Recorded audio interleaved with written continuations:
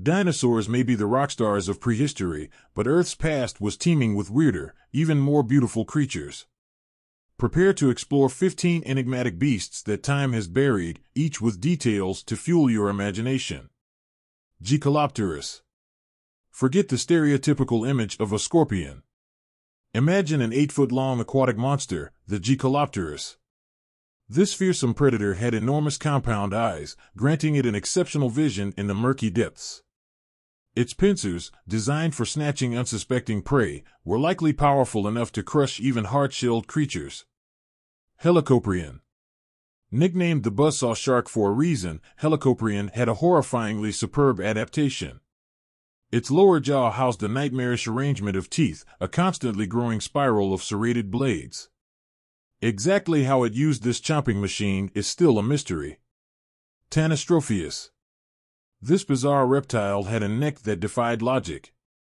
Ever seen a giraffe with a crocodile's head but a neck stretching longer than its entire body? Tanystropheus, lurking on the shores of Triassic lakes, may have used its elongated neck to wad in the shallow water, snapping up fish and insects with its sharp teeth. Titanoboa Titanoboa was a true titan of the snake world. Reaching lengths of 50 feet and weighing tons, it crushed its prey in the jungles of what is now South America. Envision the sheer size of this humongous constrictor. Dunkleosteus Picture a gigantic armored fish clad in bony plates, resembling a swimming knight. But its most fearsome feature was its jaws. Razor sharp teeth and a powerful bite that could crush even the sturdiest prey made Dunkleosteus an apex predator of the Devonian seas. Camarasaurus. This cephalopod wasn't your average squid. Camarasaurus had a massive, spiked shell that resembled a ram's horn, a genuinely bizarre adaptation. With an enormous shell, possibly reaching up to 10 feet in length, it may have defense against predators. Anomalocaris.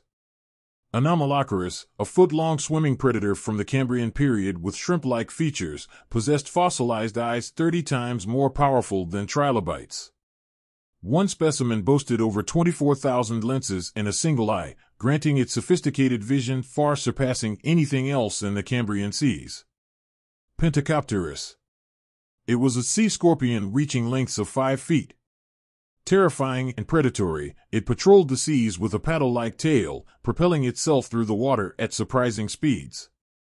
Pentecopterus likely breathed through its gills, unlike its land-dwelling cousins, allowing it to remain submerged for extended periods.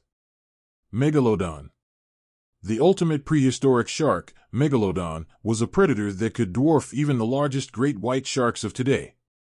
Suppose you can visualize teeth, the size of your hand, lining the jaws of this behemoth.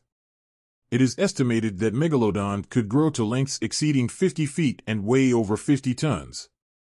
Hallucigenia Hallucigenia was a bizarre, worm-like creature with a name that lived up to its appearance. It possessed seven pairs of long spines along its back in a unique arrangement. Some theories suggest the spines may have been used for swimming or gliding through the water, while others propose they might have been a deterrent to predators. Quetzalcoatlus. It had a wingspan exceeding 30 feet, making it the largest flying animal ever discovered. It soared through the late Cretaceous skies with a wingspan that dwarfed even the most giant modern albatross. Quetzalcoatlus's lightweight bone structure and adaptations similar to those of birds allowed it to achieve powered flight despite its immense size. Arthropleura Arthropleura was a massive myriapod that dominated the Carboniferous rainforests. Reaching lengths of 10 feet and weighing a staggering ton, it was the largest known land invertebrate to ever exist. One of the biggest mysteries surrounding Arthropleura is how it molted, as the process would have left it vulnerable for extended periods. Tullimonstrum Nicknamed the peanut worm for its peculiar peanut-shaped body, Tullimonstrum is an enigma from the Cambrian period.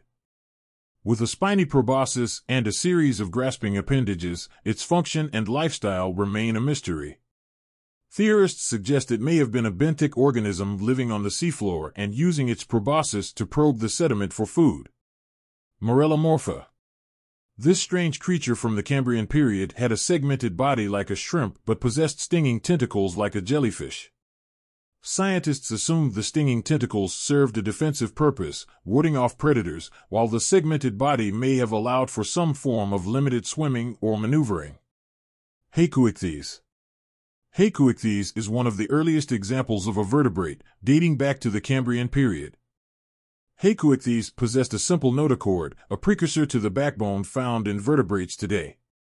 Studying the Haikouichthys helps scientists understand the development of the anatomical features that define our phylum.